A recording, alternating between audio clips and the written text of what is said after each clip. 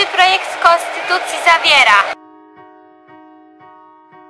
2 maja roku 1791 następuje wieczorne odczytanie i podpisanie tzw. asekuracji, czyli projektu konstytucji w Pałacu Radziwiłłowskim przez Hugo Kołłątaja, Ignacego Potockiego, Stanisława Staszica i Stanisława Małachowskiego.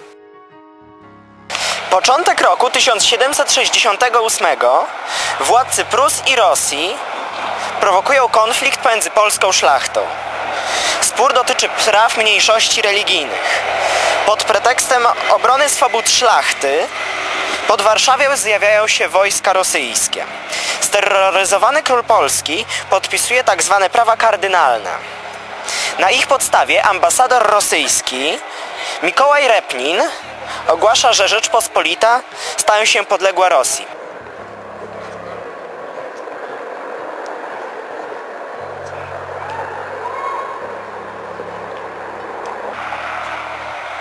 Teraz Polska podlega Rosji.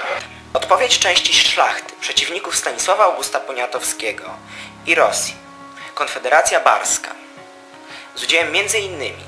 Kazimierza Pułaskiego, jest 29 luty roku 1768. W Polsce wybucha wojna domowa i trwa aż do 1772, stłumiona przez armię rosyjską.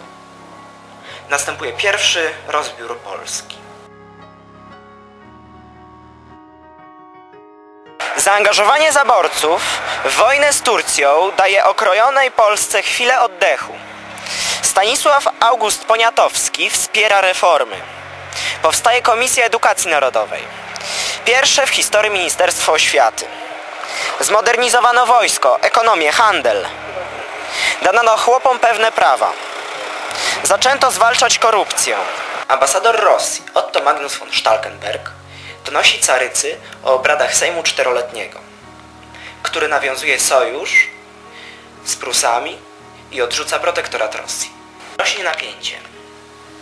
Dnia 25 marca roku 1791 Hugo Kołłątaj przedstawia gotowy projekt konstytucji.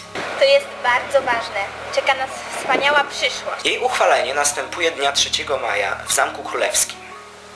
Patrioci wykorzystują nieobecność części konserwatywnej i przekupionej szlachty. Warszawiacy przed zamkiem wiwatują. Konstytucja 3 maja jest pierwszą tego typu ustawą zasadniczą w Europie. Wzmacnia władzę króla, zmniejsza przywileje szlacheckie, nadaje prawa mieszczanom i chłopom, likwiduje liberum veto. Polska ma olbrzymią szansę stać się nowoczesnym państwem.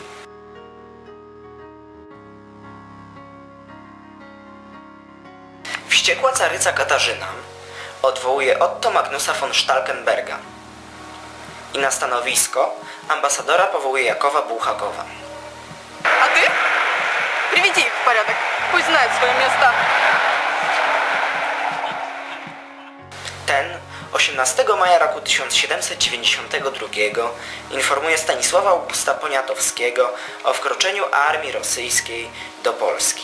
Rosjanie pod pretekstem obrony praw szlachty i w odpowiedzi na prośbę uczestników Konfederacji Targowickiej, m.in. Szczęsnego Potockiego, Ksawerego Branickiego i Seweryna Rzewuskiego przystępują do likwidacji Rzeczpospolitej. Polacy walczą. Ich armia liczy tylko 37 tysięcy żołnierzy. Targowiczanie wystawili 20 tysięcy, lecz mieli wsparcie prawie 100 tysięcznej armii rosyjskiej. Mimo takich dysproporcji, oddziały polskie pod wodzą Józefa Poniatowskiego i Tadeusza Kościuszki wygrywają kilka bitew. Jednak Stanisław August Poniatowski poddaje się Rosjanom.